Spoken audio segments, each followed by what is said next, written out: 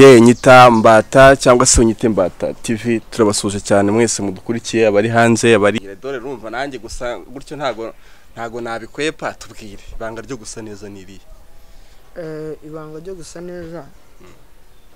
Ni uko nyine wakura amaboko mu mifuka ugakura mani ugashaka amafaranga. Kubera ko nanjye nkoze nagira inzobe nk'iyo ngiyo. Eh, ntago nyine wagira inzobe nk'iyi. Mhm. Ariko wasa neza nyine. Tu none se abantu basa neza basa neza ari uko basa? Eh. ntabwo basa neza ari uko basa kabisa. We iyo nzobe wayikuye wayikuye. We ni mukorogo ni iki? Uri kubona ari iki? Asanga ngo basize ahantu bambwiye waturutse uraza kuhatubwira ngo hari amavuta ngo ajya abayo ku buryo rwose umuntu ahita aba ahindura uruhu. Oya niyo yaba ari amavuta Mm. kuri njye byarampinze wenda. Ariko njyewe ko niko nsangiye niko navutse nsa. Mm. Eh, niko navutse nsa kubera ko iyi ni inzobe yanjye ko niko nsa. Mm. ibindi biri bi- biri inyuma bigiye kure nyine sinzi none se iki kibazo kinsubiza? Urumva? Weho iyo wirebye ufashe nka miwari ukireba. Mm. ura- hari igihe ujya uvuga ati "Iki cyakoze nsa neza. Kinsubiza yewe nirebye. Ntabwo nkunda kwireba kubera ko n'ubundi ni ibintu nsanzwe menyereye ko nsa neza. Usa neza. Yego. Ntabwo rero njya nkunda kwireba cyane kubera ko mba mbizi yuko n'ubundi nsa neza. Mm. Eh, ntabwo nkunda keretse nkawe nyine iyo ndebye ukambwira ati usa neza. Mm. Eh, kubera ko ku- kukumbwira ngo nsa neza Mm. ni nko kwireba mu- muri make. Mm. ni nko gufata indorerwamo nkireba. Hari ukuntu njya numva bavuga ngo uyu umuntu ngo azi ko asa neza cyari mwiza ngo ariyemera ubwo ni cyo kintu mise niyumvamo ati abakobwa ba noneho wirirwa ba- bakina jongere sinakubwira. Kwiyemera se? Eh, kwiyemera yesi umuntu agomba kwiyemera. None se uranga kwiyemera wemere ndi ntabwo ibyo ngibyo ni ibintu ntagarukaho kubera ko nyine mm, eh, iyo usa neza uba usa neza. Rero iyo umuntu akeneye kukwirukaho kubera ko usa neza ni ngombwa kwirukaho nyine kubera ko nyine usa neza. Nawe nubona undi usa neza kukurusha uramwirukaho. Eh, ku buryo ku buryo ku buryo ushobora gufata udukobwa tw'abandi nka dutatu ukavuga ati ndadutendetse kamwe. Turi wenda rukasiyo za- zatwo ziratandukanye. Kamwe ndagakunda n'akandi ndagakunda n'akandi ndagakunda sibyo kubera ko uzi ko bagukeneye uzi ko nta wakwiryaho ukabikora nyine mu buryo bwo ubwo nyine urumva muri make uba uri kubahemukira ku buryo ibyo kubikora wumva nta- kintu bitwaye Mhm. gutendeka gutendeka urabizi ndakeka Eh. ikinyarwanda ukizi nta kiba ikibazo Eh, ubwo gutendeka nkawe nk'umuntu ubona nyine wenda wenda aba- abasisita benshi wenda ba- ba- ba- bagushaka nk'uko wenda babitugaragarije mu kiganiro nabonye ahantu eh, gutendeka kuri wowe urumva ntacyo bitwaye? Oya Mm, njye ntabwo nendeka kubera ko njye mfite umukunzi. Mm. mfite umukunzi. Umwe? Umwe. Abandi njye ntabwo mbabara nk'abakunzi. Ura nyine n'abandi bakwirira nyine kwimanukira nk'umuntu. Oya ntabwo njye mfite umukunzi iyo nkeneye kurya. Mm, njya ku mukunzi wanjye aramuhagije kabisa. Umukunzi umwe nanateganya kuzashaka imana. Ni- ni- ni- ni- ni- ni- nidushoboza a- abanyarwanda batavuga ati yanadoresa umwana w'imyaka makumyabiri agiye kubeshya umwana w'abandi ngo azamushaka. Koko arumva ibyo bintu bishoboka eh kubera iki se bidashoboka? Ikintu cya mbere ni ukwiyumvanamo Mm. n'icyizere. Makumyabiri umusaza? Makumyabiri se ni mikeya. Inaha mu rwanda ushobora kuba ufite imico yo hanze ariko twebwe inaha mu rwanda dushaka dufite taranisenke Transfer. uba ufite mirongo itatu kandi rero gahunda ntabwo nzashakira mu rwanda nzashakira hanze batwemerera hanze twe baduha ubwisanzure Mm. tugakunda. Niyo waba ufite ibiri upfa kuba ukundana. Mm. Eh, Wa- wa- wa- watubwiye ko utari uri mu rwanda waturutse ahagana he? Njye naturutse muri amerika. Eh, siteti siteti uburaje inaha ni ni kavuki inanibwo ni ho inkomoko yawe ni ho famiye yawe iri okay mu rwanda habonye ute? Ah, mu rwanda. Mm, mu rwanda ni heza pe haracyari heza nka mbere. Mm, ariko ikintu nasanze ibiciro byabo biri hejuru cyane kabisa mm. Ciro dore ngo covid ngo ntago ari covid. Covid na yo kuyibeshyera ngo ni intambara yo muri Ukraine na na, na, na Russia. Mm, ngo, ibintu byose ngo byahise bizamuka na dodo zirahenda. none se muri ukirane bahinga dodo. Numbaze numbaze nuko twabisanze rwose. Eh, kare kare kare Eh, kare nyine hari ikibazo kiba kirimo ariko Mm. nyine kitaba gikeneye kuvugwa. Mm, niyo mpamvu babyitirira byose hari hirya nyine muri mm. noneho twe dukunda kuganira n'abantu bagiye bafite ubuhamya butandukanye. Na na numvishe ubuhamya bwaweho gatoya hari umuntu wabunsangiye ndavuga ati uyu muhungu reka nzamushake tuganire. Nshaka ko tuganira ku kintu kijyanye n'ubutinganyi. Ubutinganyi ubutinganyi bwo ah, muri mu abaryamana bahuje ibitsina. Iyo wumvishe ijambo ubutinganyi muri wowe ni iki gihita kikuzamo uhita utekereza direct?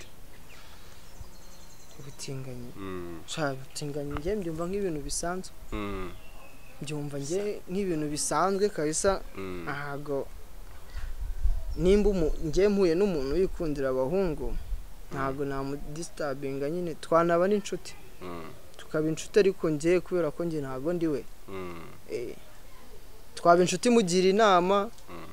ntabwo nyine ntabwo kumwe hano nabonye ah, abasore babona ati ngura n'umutinganyi bagatungurwa bagatangara ba- ugasanga baramuhunze ngo ibiki? Oya. Cyese ikomeze. Kubera ko biriya bintu ni ibintu umuntu avuka bimurimo. Mm, rero gute se wabimukuramo wamuretse akenjoyinga life nk'uko yenjoyinga mm. urumva ni- ni nansi ku- ni- ni- nabaye nkubica ku ruhande ariko umuntu watubwiye wakumayeho amakuru yambwiye kuri we. Urumva? None wese wari gusa nkaho winyuraguramo kwawe ati ntago ari bibi kandi ntago ndi we. Sibyo kandi ubwo uwampaye amakuru yambwiye kuri we icyo kuba uri we cyo urakivugaho iki? Kandi ugahita ugaruka ku kuba uvuga ngo ngo ntago ngo ntacyo bitwaye ngo ibiki n'ibiki. Icyo cyo urakivugaho iki? Eh, amakuru buriya ntabwo umuntu avugwa avugwaho ibintu byose biri ukuri. Mm. hari aho- bakubeshyera bitewe n'ukuntu umeze. Njyewe ntabwo njyewe ntabwo ndi umutinganyi. Njyewe ntabwo ndi umutinganyi ariko njye nemera abatinganyi. Abanyarwanda abanyarwandakazi. Ibintu uyu muhungu ari kutubwira murumva bisobanutse.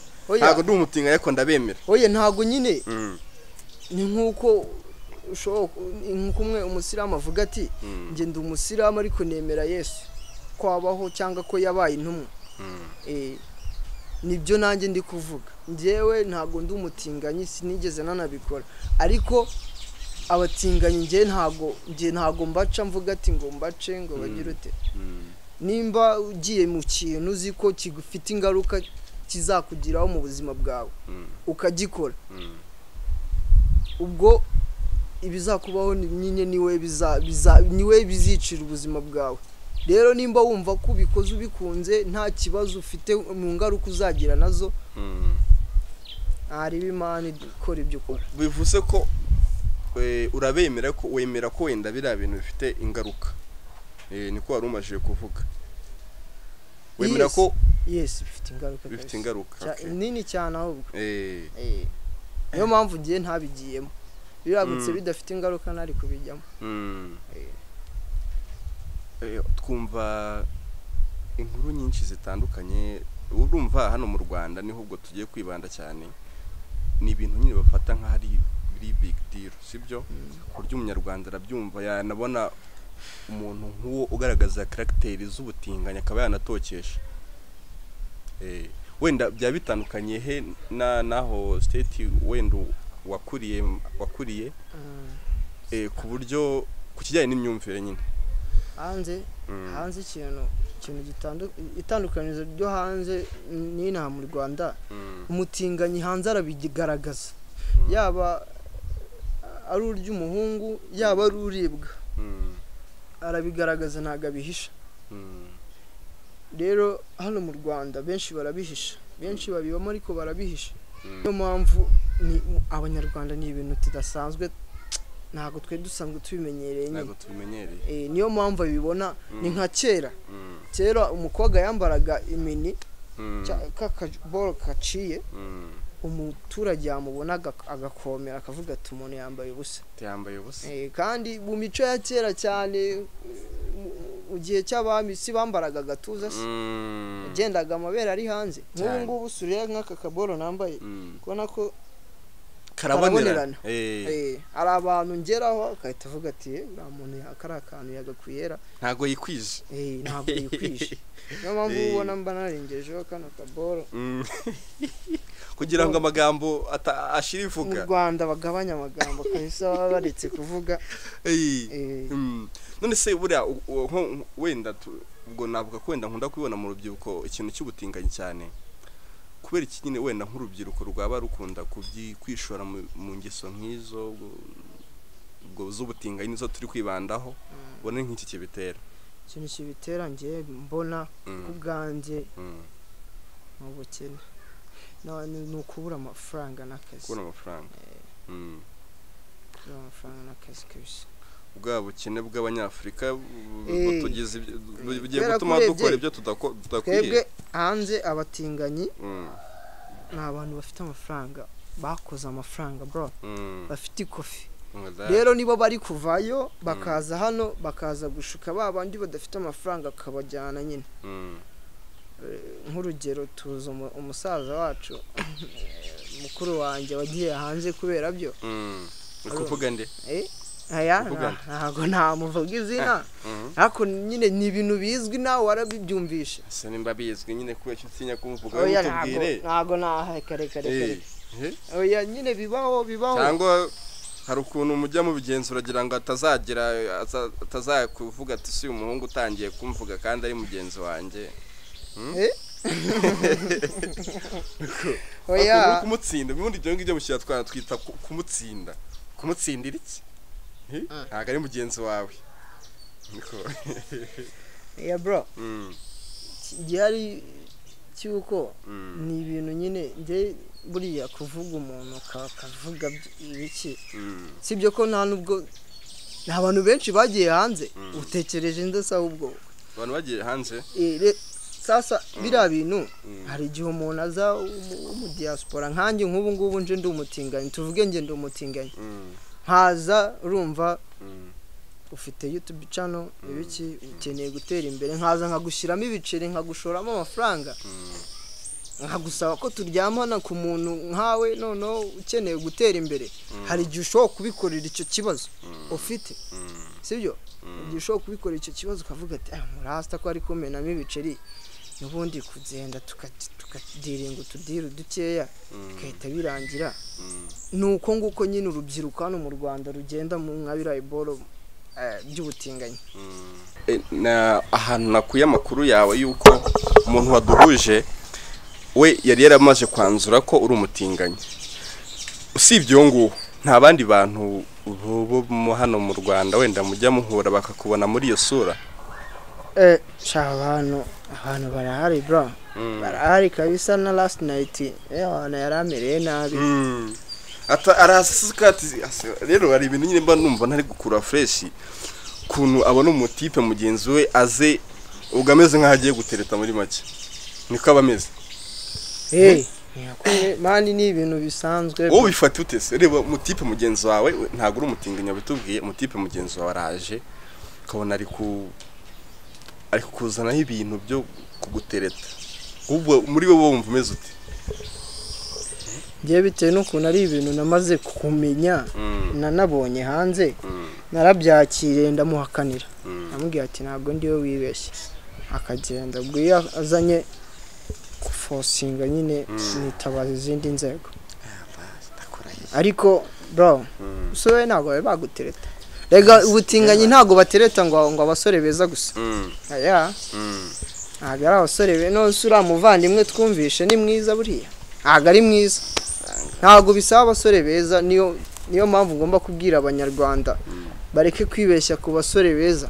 Ngo bose ngo nabatinganye oya. Mm, ntabwo biriya bintu biba ku basore beza kubera ko se biraba ku, basore beza gute. Mm, kandi ubutinganyi butareba ngo mu maso. Mm. Umuntu aba akeneye uriya mukuru wacu uriya mukuru wacu nabonye ari ukuntu ateye hasi abyibushye wasanga. Eh, ari kuzunguza ra- wazunguza ikitariho umusa Eh? Eh, nabonye azunguza. Nabonye ari kuzunguza rwose ari gukubita akantu k'akabyino ukuntu Mm. Ariko biriya boro biramutse byaramwinjirije cyane ndumva njye nta n'ikintu bitwaye kabisa. Mm. ndumva nta kintu bitwaye kabisa. Uvuze gutyo wavuze ati umusore wese w'umukene nibamutereta bazagira baramuha amafaranga azahita agenda yemera ubu ngubu baguhaye miliyoni miliyoni miliyoni ebyiri zi- z'idolari Mm. wowe? Umujama akurye akurye. Ntabwo wayafata? Ikibazo ko gikomeye. Oya nsubiza nimba utayafata. Ah, wowe wayafata niko iki kibazo kirakomeye musaza eh nirumva ubukene buba buhari imana tuba dufite ubukene dukeneye ibiceri dukeneye kwiteza imbere mu buryo butandukanye ariko hari ikintu nyine uba wumva nyine ukumva kucyakira nyine ntabwo biri guhita biza fresh nyine kabisa ukumva nyine kiri kure tu? Wari- wowe wenda wari uvuze ati wenda hanze aho hanze wenda state ni ho ufite amakuru cyane wati wenda aho ntabwo ari bi- ibintu biri big deal. Ariko hano mu rwanda eh, ukareba ukabona rwose yaba ari n'umuryango ugasanga uraguciye ibiki byose ukabona ni bya bintu birakaze. Mm, Eh, wibwira se umuryango waguca uwufasha? Mm, ntabwo waguca. Mm. uwufasha? Mm, ufasha buri kimwe cyose. Icyo waba cyose. Mm. ntabwo waguca. Eh, ni hatari.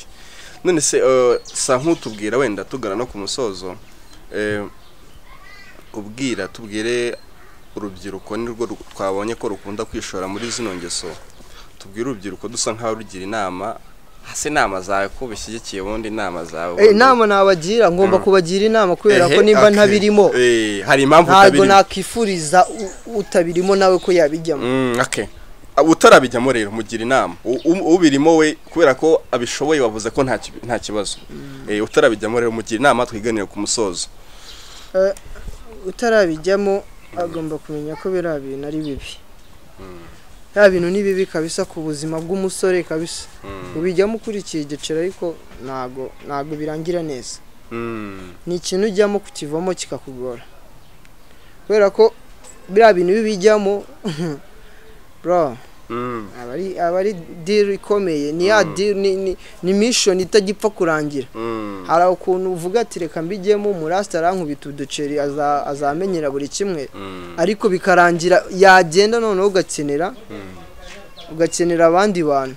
Mm, ugasanga noneho eh, kubivamo birakugoye. mm, kubera ko abasore benshi nge hari n'abo nzi bagiye babijyamo mm. bakurikiye igiceri ariko kubivamo bikabagora bikarangira nyine babaye imbata yabyo. Kaba koronike kabisa. Bikaba koronike rero ewana we musore utarabijyamo Mm, sa neza mani se neza kuba kuba bakwita ati kubibamo mm, ntabwo ari ibintu bya- bya- byatuma udasa neza. Kuba bavuga ati ngo ubibamo utabibamo mani ntabwo nta muntu utavuga. Ariko. Irinde kabisa nujye mu bishuko nk'ibyo ngibyo kabisa. Mm. eh yaba iboro ni bibi cyane. Nakoze cyane wenda nyine mu bundi mu make twabonye ko igituma babijyamo cyane ari ikibazo cy'ubukene. Ikibazo cy'ubukene Eh, ubwo- ah Eh, hari ahantu henshi twashakishiriza amafaranga nk'urubyiruko aho kugira ngo twishore mu bintu nk'ibyo ngibyo kandi tubona ari ibintu bitazagira ingaruka nziza. Urakoze cyane nitukongera kugukenera tuzadukundire tuganire. Hari ikintu abanyarwanda baba bakuyemo muri rusange ku buryo hari aho cyagira uwo wari ushaka kubijyamo hari aho cyamukura akaba hari aho cyamugeza nanone urakoze cyane imana iguhe umugisha. Saa namwe murakoze kabisa.